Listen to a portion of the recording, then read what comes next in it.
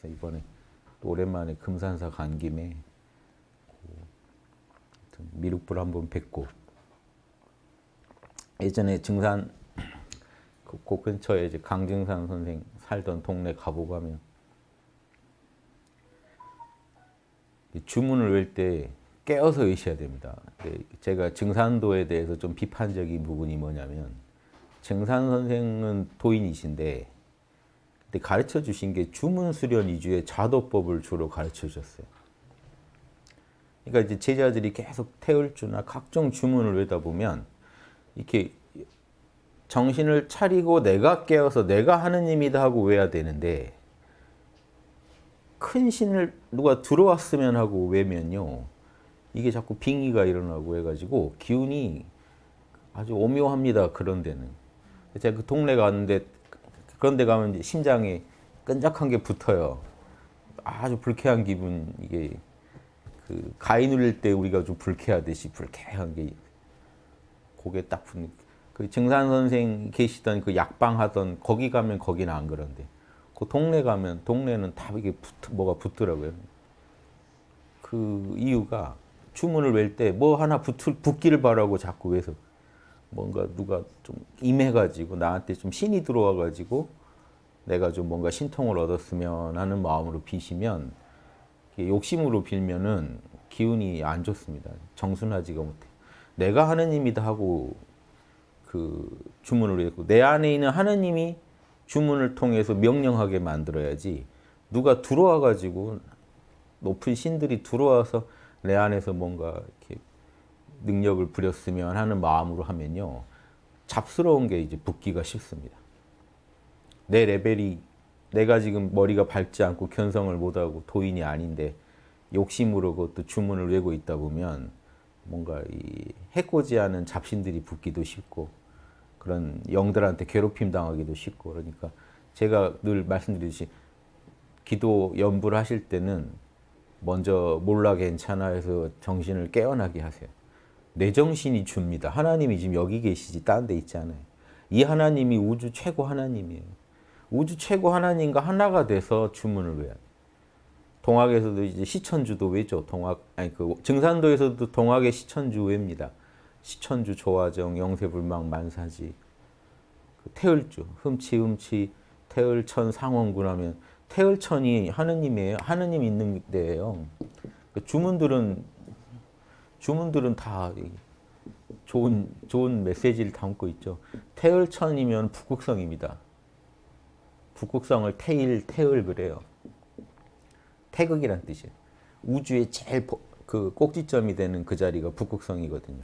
북극성 계신 상원군이면 하느님이 북극성 하느님, 북극성 하느님, 흠치흠치 태을천 상원군 하면 북극성 하느님에다 빈다 이 소리고요.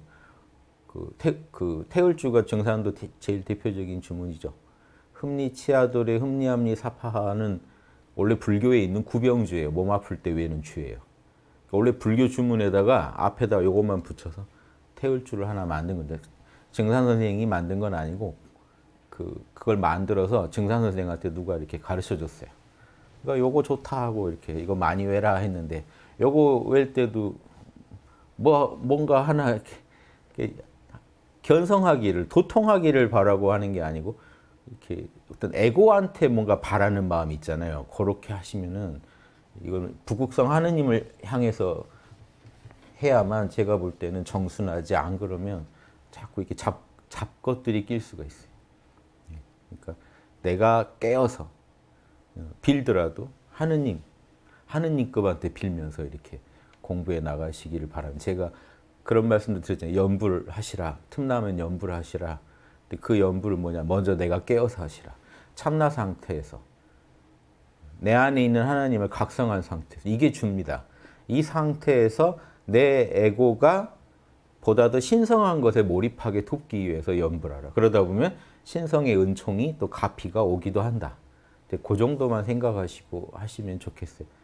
많은 분들이 하고 계시니까 뭐라도 도움되는 말씀 드리고 싶은데 음, 그렇게 해서 하시면 조, 좋은 작용 나고 끝나는데 안 그러시면 제가 좀 다녀본 바로는 주문수련한데 다녀본 좀 기가 좀 이상해요.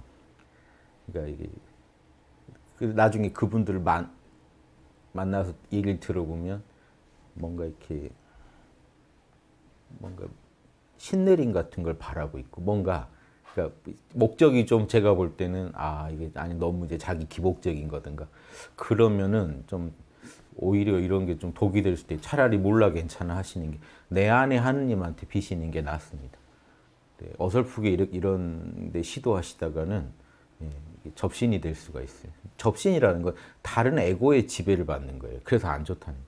내가 내 안에 하느님을 못 찾으면 다른 에고의 노예가 될 수도 있습니다. 예, 다른 에고한테 착취당할 수. 그 에고가 그 영혼으로 있는 존재건 현실의 존재건 다른 에고한테 착취당하는 건 좋지 않아요. 제가 요즘 그 시국에서 빠, 빠를 계속 비판하는 것도 뭡니까? 자기 정신이 아니고 남의 정신으로 사는 사람들이에요. 빠가 되면 이성이 마비돼요. 이성적이면서 계속 일반적인 바가 아니라 이제 좀 치우친 광바가 되려면요 이성 놔야 돼요. 이성 갖고는 못, 거기 못, 못 들어갑니다.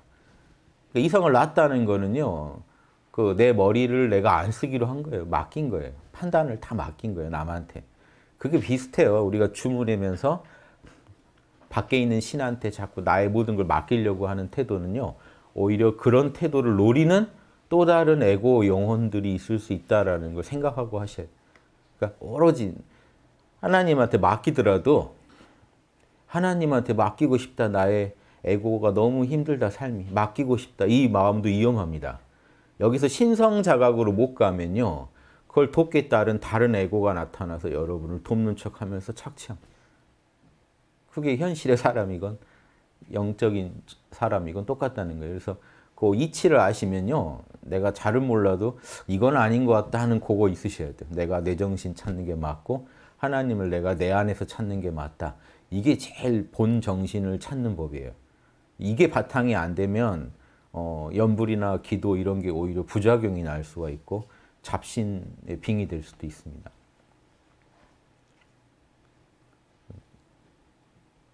거의 금산사를 생각하니까 옛날 생각이 나서 드린 말씀인데 어떤 게 주문 외 때도 내가 깨어 있는가를 체크하면서 외세요.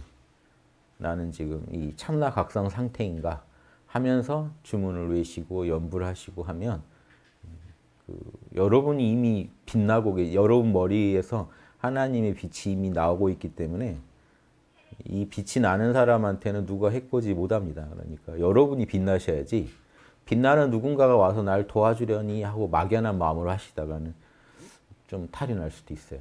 다 그런 건 아니겠지만. 그래서 항상 몰라 괜찮아서 깨어서 연불 하시거나 기도를 하실 때 깨어서 하시고 내 정신이 조금 혼미해지는 것 같은 멈추시고 몰라 괜찮아 해서 내 정신 먼저 챙기세요. 그리고 또 이왕이면 좋은 염을 하자 하는 차원에서 노는 이 좋은 염하고 신성한 생각하고 예, 인류 모두가 잘 되게 하는데 뭔가 기도하고 이런 거 좋은 거 아니냐.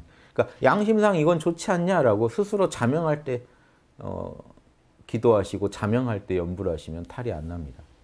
요것 좀 하나 유념해 주시면 마침 생각난 김에 말씀드렸는데요.